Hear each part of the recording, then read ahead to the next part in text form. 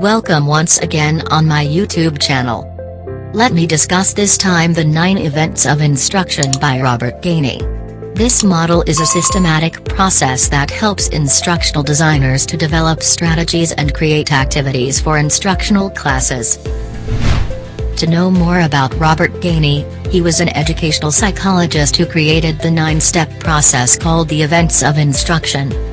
He was best known for his conditions of learning. He was involved in applying instructional theory to the design of computer-based learning. He is best known for his learning outcomes, learning conditions and nine events of learning. The nine events provide a framework for an effective learning process. The steps give designers an outline to use prior to performing teaching activities. The nine events of instruction can be divided into three segments, namely preparation or gaining attention, informing learners of the objectives and stimulating recall of prior learning are included.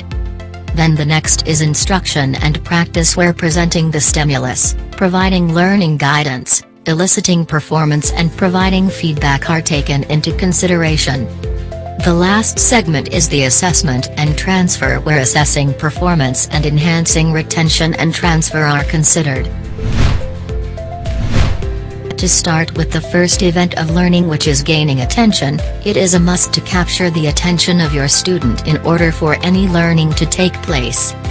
Another better way to capture students' attention is to start each lesson with a thought-provoking question or interesting fact. Curiosity motivates students to learn. Ensure the learners are ready to learn and participate in activities by presenting a stimulus to capture their attention. These are a few methods for capturing learners' attention. First, stimulate students with novelty, uncertainty, and surprise, then pose thought-provoking questions to students. Next is to have students pose questions to be answered by other students and last but not the least. Lead an icebreaker activity. After gaining the attention, the next event is informing the learners of the objectives. Once your learners are engaged, they need to know what to expect from your learning experience. This helps your audience understand the full picture. Providing expectations around what they will learn helps put your audience in a learning mindset. Here are some of the tips for stating objectives. Explain what the audience will learn and why it is important. Describe the goals and outcomes of the learning experience. Explain how this information will benefit the learners. Next event is stimulating recall of prior learning. In this step, the goal is to activate the recall of the old knowledge. Once the old knowledge is recalled, or remembered, it makes it easier to connect the dots to new information. Tips for stimulating recall 1. Ask questions from the last lesson. 2. Conduct pop quizzes. 3. Post discussion board questions related to prior knowledge. 4. Perform pre-tests to understand what the audience already knows and 5. Create lesson plans that build upon each other. The fourth event is presenting the content. This event of instruction is where the new content is actually presented to the learner. Content should be chunked and organized meaningfully, and typically is explained and then demonstrated. To appeal to different learning modalities, a variety of media should be used if possible, including text, graphics, audio narration, and video. At this point, Gagne recommends that you present the instructional content. You should break the content into chunks to make it easier to digest, and you should provide examples to help your audience learn from. In the context of e-learning, content may come in the form of animated videos, text-based slides, PDFs, narrated slideshows, and so much more. It's up to you to ensure that your content is aligned with your learning objectives.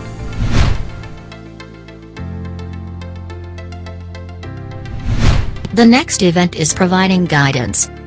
Advise students of strategies to aid them in learning content and of resources available. In other words, help students learn how to learn. The following are examples of methods for providing learning guidance Provide instructional support as needed, that is scaffolding that can be removed slowly as the student learns and masters the task or content.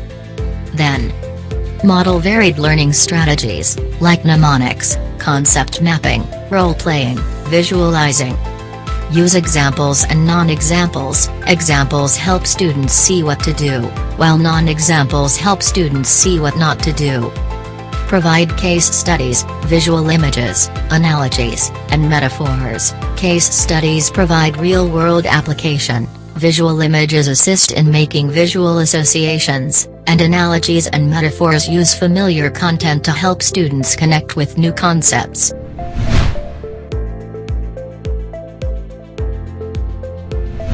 Next is eliciting performance. Have students apply what they have learned through practice to reinforce new skills and knowledge and to confirm correct understanding of course concepts. Here are a few ways to activate learner processing.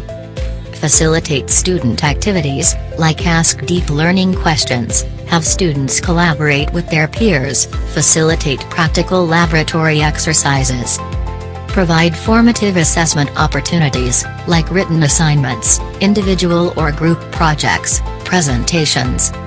Design effective quizzes and tests, that is, test students in ways that allow them to demonstrate their comprehension and application of course concepts, as opposed to simply memorization and recall. The next event is providing feedback. After the learner attempts to demonstrate their knowledge, provide immediate feedback of students' performance to assess and facilitate learning and to allow students to identify gaps in understanding before it is too late. The following are some types of feedback you may provide to students. 1 is confirmatory feedback informs the student that they did what they were supposed to do. This type of feedback does not tell the student what she needs to improve, but it encourages the learner be positive and at the same time objective.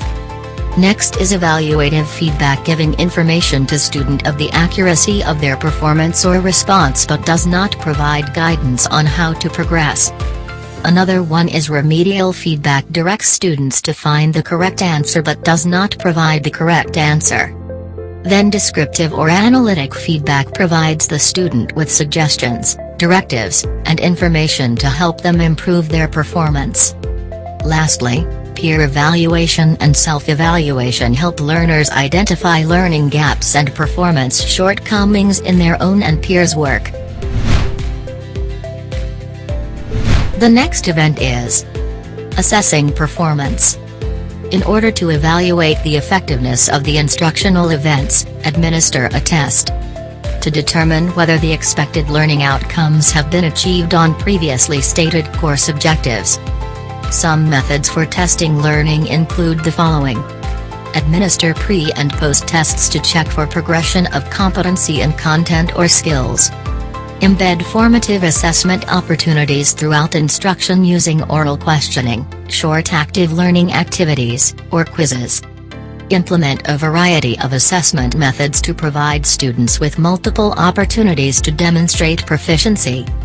Craft objective, effective rubrics to assess written assignments, projects, or presentations. The last event is enhancing retention and transfer. Give the learner resources that enhance retention and transfer of knowledge. Repeated practice with effective feedback is the best way to ensure that people retain information and use it effectively help learners retain more information by providing them opportunities to connect course concepts to potential real-world applications. The following are methods to help learners internalize new knowledge. First, avoid isolating course content. Associate course concepts with prior concepts and build upon prior learning to reinforce connections. Second, continually incorporate questions from previous tests in subsequent examinations to reinforce course information. Third, have students convert information learned in one format into another format. For instance, requiring students to create a concept map to represent connections between ideas. Lastly, to promote deep learning, clearly articulate your lesson goals, use your specific goals to guide your instructional design, and align learning activities to lesson goals.